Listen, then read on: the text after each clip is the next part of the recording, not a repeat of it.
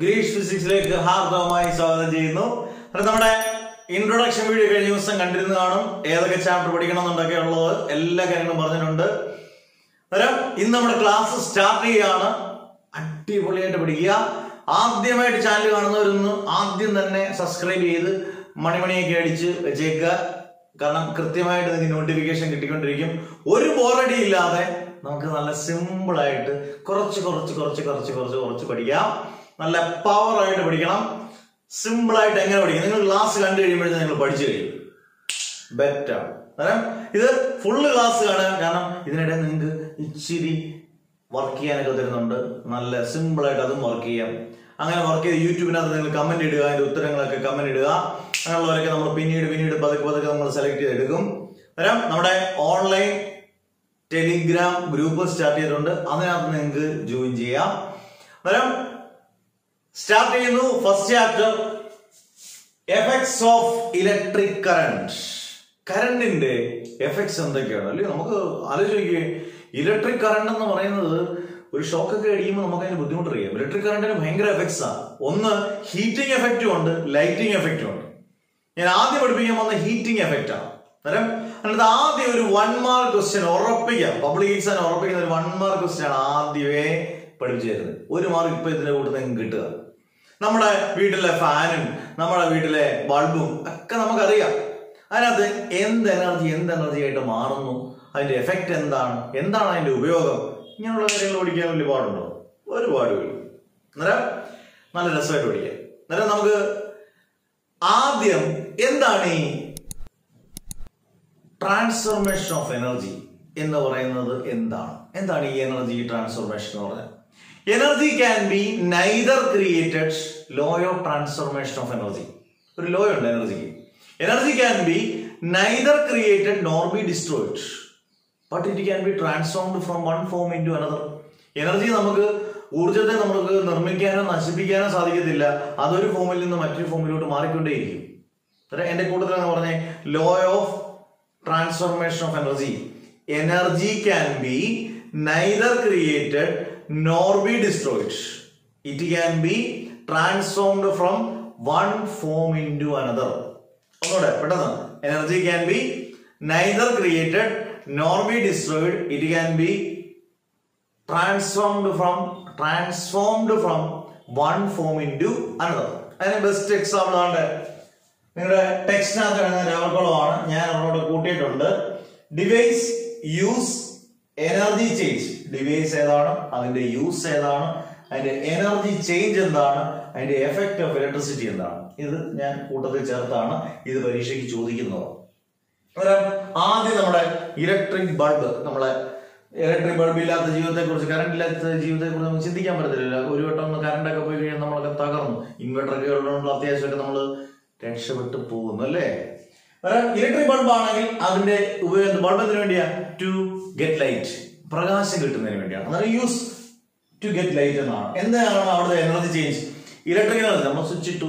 Electric energy is transform to light energy electric energy ഒരു ആരോ mark കൊടുത്തിട്ട് light energy എന്ത് എഫക്റ്റാ ലൈറ്റ് കിട്ടുമ്പോൾ അത് ലൈറ്റിംഗ് എഫക്റ്റ് ആണ്. അങ്ങനെ പരീക്ഷയ്ക്ക് ചോദിക്കും ഏത് എഫക്റ്റ് ആണ് ഇലക്ട്രിക് ബൾബിൽ കിട്ടുന്നത്? ഏത് എഫക്റ്റ് ആണ് ലൈറ്റിംഗ് എഫക്റ്റ് ഇത് എളുപ്പമല്ലേ അതായത് ഇലക്ട്രിക് ബൾബിന്റെ കാര്യം പറഞ്ഞ ഇലക്ട്രിക് ബൾബിന്റെ ആദ്യത്തെ യൂസ് എന്തുമായിരിക്കും ടു ഗെറ്റ് ലൈറ്റ് എന്ത് എനർജി എനർജി ആയിട്ട് മാറുന്നു. Electric energy is converted into ഏത് എനർജി ലൈറ്റ് ആണ്. എന്ത് എഫക്റ്റ് ആണ്? ലൈറ്റിംഗ് എഫക്റ്റ് ആണ്. അതുകൊണ്ട് അത്രേ ഉള്ളൂ. ഇനി രണ്ടാമത്തെ ഇൻഡക്ഷൻ കുക്കർ ഇവൻ വലിയ സംഭവമാണ്. ഇൻഡക്ഷൻ കുക്കർ നമ്മുടെ വീട്ടിലെ വീട്ടിലെ വീട്ടിലൊക്കെ ഇൻഡക്ഷൻ കുക്കർ നമ്മുടെ വീട്ടിലൊക്കെ ഉപയോഗിക്കുന്നതിന് പ്രധാന കാരണം എന്ന് പറയുക. സത്യം പറഞ്ഞാൽ ഇൻഡക്ഷൻ കുക്കർ മിക്കവാറുള്ള വീടുകളിലൊക്കെ ഉണ്ട്. കാരണം അറിയോ? നമ്മുടെ വീട്ടിലെ ഏറ്റവും എളുപ്പത്തിൽ എല്ലാം ചൂടാക്കാൻ വേണ്ടിയാണ് ഇത് ഉപയോഗിക്കുന്നതെന്നാണ് നമ്മുടെ വീട്ടിലെ അമ്മയൊക്കെ പറയുന്നത്. അല്ലെങ്കിൽ ചേച്ചിമാര് നമ്മൾ ഉപയോഗിക്കുന്നവരെല്ലാം പറയുന്നത്. പെട്ടെന്ന് ചൂടാക്കി വേണോ? കാപ്പി വേണോ? ചായ വേണോ? എന്ത് വേണോ? ചൂടാക്കി അന്നേരം ഞാൻ തരാം. പക്ഷേ കറണ്ട് ബില്ല് വരുമ്പം ഏറ്റവും കൂടുതൽ വീട്ടിൽ ഇടി ഉണ്ടാക്കാൻ ചാൻസ് ഉള്ളതിൽ ഒന്ന് ഈ ഇൻഡക്ഷൻ കുക്കറാണ് നല്ല പോലെ കറണ്ട് വലിക്കും. നമ്മൾ കേൾക്കുന്ന ഈ കുട്ടികളൊന്നും പറഞ്ഞു മനസ്സിലാക്കണം എല്ലാം ഇൻഡക്ഷൻ കുക്കറിൽ വെച്ച് ചൂടാക്കരുത് കറണ്ട് ബില്ല് കുത്തനെ കൂടും. ശ്രദ്ധിച്ചോണം കേട്ടോ? ഇൻഡക്ഷൻ കുക്കർ വലിയൊരു ഫാക്ടറാണ് ആ ഇൻഡക്ഷൻ കുക്കറിനകത്ത് എന്തോ സംഭവിക്കുന്നത് ടു ഗെറ്റ് ഹീറ്റ് ചൂടാണ് നമുക്ക് കിട്ടുന്നത്. അതാണ് അതിന്റെ ഉപയോഗം. ചൂടാക്കാൻ വേണ്ടിയല്ലേ? Electric energy is converted into heat energy. എന്നാൽ അവിടെ കിട്ടുന്ന എഫക്റ്റ് എന്ന് പറഞ്ഞാൽ എഫക്റ്റ് എന്ന് പറഞ്ഞാൽ ഹീറ്റിംഗ് എഫക്റ്റ് ആണ്. ഇൻഡക്ഷൻ കുക്കർ ഇതിൽ നിന്ന് കിട്ടുന്ന മെസ്സേജ് ഇൻഡക്ഷൻ കുക്കർ ആവശ്യത്തിന് വേണ്ടി മാത്രം ഇൻഡക്ഷൻ കുക്കർ ഉപയോഗിക്കുക. അനാവശ്യമായിട്ട് എല്ലാം ചൂടാക്കാൻ വേണ്ടി നമുക്ക് ഗ്യാസ് ഉണ്ട് സ്റ്റവ് ഉണ്ട് എല്ലാ കാര്യങ്ങളൊക്കെ ഉണ്ട്. അതൊക്കെ വെച്ച് ഇപ്പോൾ ഉള്ള വീട്ടമ്മമാർക്കൊക്കെ ബുദ്ധിമുട്ടുണ്ട് പെട്ടെന്ന് ഇൻഡക്ഷൻ കുക്കർ കൊണ്ട് വെച്ചു. നമുക്ക് ചൂടായി കിട്ടുന്നത് എന്നിട്ട് നമ്മൾ നമുക്ക് സുഖം. ആ അടിപൊളി. സൂക്ഷിക്കുക. കറണ്ട് ബില്ല് വളരെ വളരെ കുത്തനെ കയറി storage battery while charging charge ചെയ്യുമ്പോൾ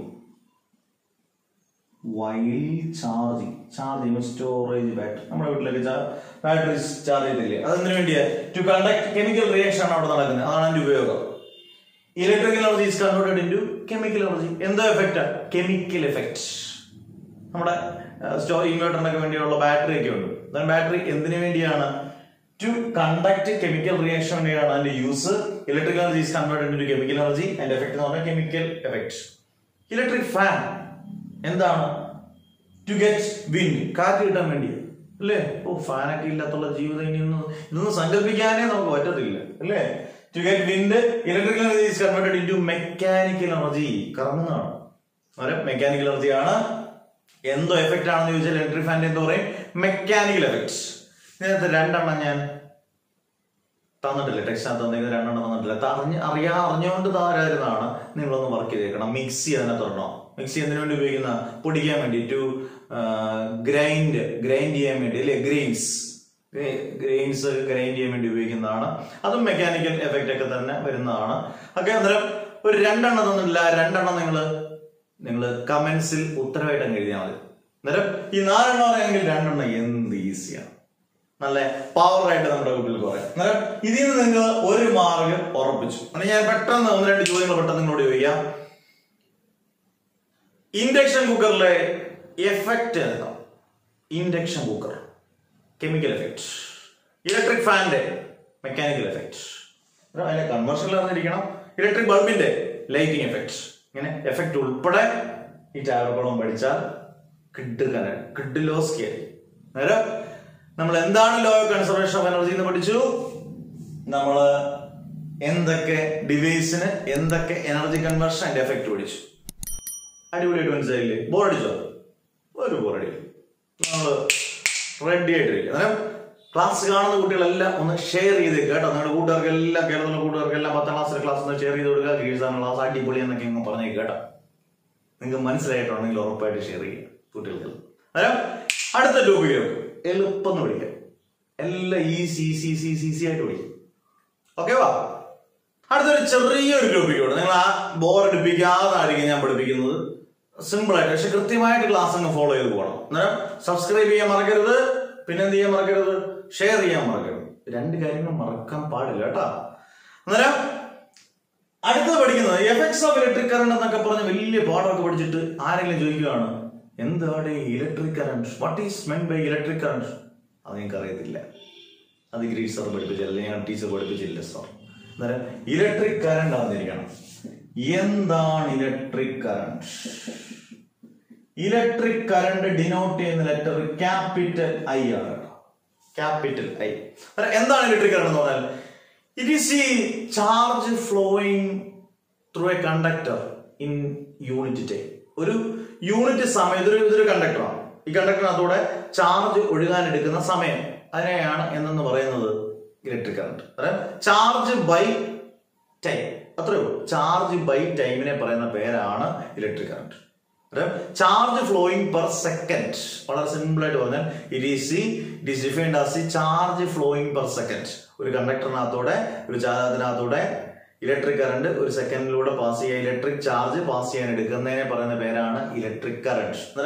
I is equal to equation എഴുതിയാൽ ക്യൂ ബൈ ടി എന്താണ് ഈ ക്യൂ ക്യൂ എന്ന് പറയുന്ന ചാർജ് ആണ് കേട്ടോ.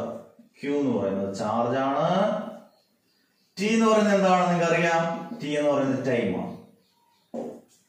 പടക്കം പിള്ളേരല്ലേ ചാർജിന്റെ യൂണിറ്റ് എന്ന് അറിയോ അത് പലർക്കും ചിലപ്പോൾ അറിയത്തില്ല യൂണിറ്റ് കൂടെ പഠിച്ചോണം കേട്ടോ. കൂളം.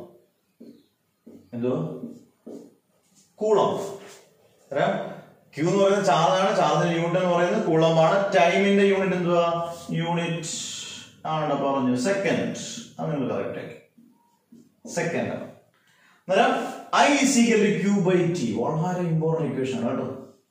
വളരെ ഇക്വേഷൻ ഇതിൽ നിന്ന് പ്രോബ്ലത്തിൽ ചോദിക്കും Q is equal to cross multiply ചെയ്തേ I into T I into T എന്നിട്ട് നമ്മൾ രണ്ട് ഇക്വേഷൻ പഠിച്ചു. I is equal Q by T Q is equal to I into T ഈ രണ്ട് ഇക്വേഷൻ തന്നെ പഠിക്കുമല്ലോ. I is equal Q by T charge flowing per second I is equal Q by T Q is equal I T ഇനി standard unit എന്താണ്? ഈ കറണ്ടിന്റെ standard unit ഒന്നുമല്ല സംഭവം വന്നു. ആംബിയർ ഇത് ബാസ് ആണ് അല്ലേ ആംബിയർ ആണ് കറണ്ടിന്റെ സ്റ്റാൻഡേർഡ് സ്റ്റാൻഡേർഡ് യൂണിറ്റ് എന്ന് പറയുന്നത് കറണ്ടിന്റെ എന്തുവാ? ആംബിയർ ആണ് ഏത് ഇൻസ്ട്രുമെന്റ് വെച്ചാണ് കറണ്ട് അളക്കുന്നത്? ഏത് instrument which is instrument use to measure electric current ഏത് ഇൻസ്ട്രുമെന്റ് കൊണ്ടാണ് നമ്മൾ കറണ്ട് അളക്കുന്നത്? അമ്മീറ്റർ കേട്ടോ ഇത് ടെക്സ്റ്റിനകത്ത് ഇല്ലെങ്കിൽ ഒന്ന് പഠിച്ചോണം. Ammeter is an instrument use to measure electric current electric current measure ചെയ്യണമെങ്കിൽ ഒരു ഡിവൈസ് വേണമല്ലോ. ആ ഡിവൈസിനെ പറയുന്ന പേരാണ് എന്ത്? അമ്മീറ്റർ അല്ല നമ്മൾ ഇന്ന് എന്തൊക്കെ കാര്യങ്ങൾ പഠിച്ചു? ഇത്രയും കാര്യങ്ങൾ പഠിച്ചാൽ മതി. നിങ്ങൾ ആദ്യം ലോ കൺസർവേഷൻ ഓഫ് എനർജി പഠിച്ചു അതിന്റെ കൺവേർഷൻ ഡിവൈസ് പഠിച്ചു പിന്നെ കറണ്ട് എന്തോന്ന് പഠിച്ചു? കറണ്ടിന്റെ ഇക്വേഷൻ പറഞ്ഞ I equal Q by T അതിൽ നിന്ന് Q equal to cross multiply ചെയ്താൽ മതി. I into T Q charge ആണ്. ചാർജിന്റെ യൂണിറ്റ് എന്തുവാ? കൂളമ്പ്. ടൈമിന്റെ യൂണിറ്റ് സെക്കൻഡ് ആണ്. സ്റ്റാൻഡേർഡ് യൂണിറ്റ് കറണ്ടിന്റെ ആംബിയർ ആണ്. കറണ്ട് അളക്കാൻ ഉപയോഗിക്കുന്ന ഇൻസ്ട്രുമെന്റ് പേരാണ് അമീറ്റ് ആദ്യത്തെ ക്ലാസ് ഇത്രയും ഇത്ര ഇത്ര ഇത്ര കുറച്ച് കുറച്ച് പഠിക്കുമ്പോഴേ നിങ്ങൾ ബോറടിക്കത്തുമില്ല നിങ്ങൾ അടിപൊളിയായിട്ട് പഠിക്കുകയും ചെയ്യും. അന്നേരം ഇന്നത്തെ ക്ലാസ് നിർത്തുന്നു. സബ്സ്ക്രൈബ് ചെയ്യാനും ഷെയർ ചെയ്യാനും മറക്കരുത്. നിങ്ങളാണ് എന്റെ പവർ അന്നേരം നിങ്ങൾ പവർ കാണിക്കുന്നതിനനുസരിച്ച് ഞാൻ പവറായിട്ട് പഠിപ്പിച്ചുകൊണ്ടിരിക്കും. അന്നേരം അടിപൊളിയായിട്ട് നമുക്ക് മുന്നോട്ട് പോകാം പത്താം ക്ലാസ് നല്ല അടിപൊളിയായിട്ട് ഏറ്റവും ടഫ് ടോപ്പിക്ക് പോലും നമ്മളിങ്ങനെ പുഷ്പം പോലെ പഠിപ്പിച്ചു റെഡി ആയിട്ടിരിക്കുക. അംഗത്തിന് അടുത്ത ക്ലാസ്സിൽ കാണുന്നവരെ. ബാബായ് സി യു ഓക്കെ വാ.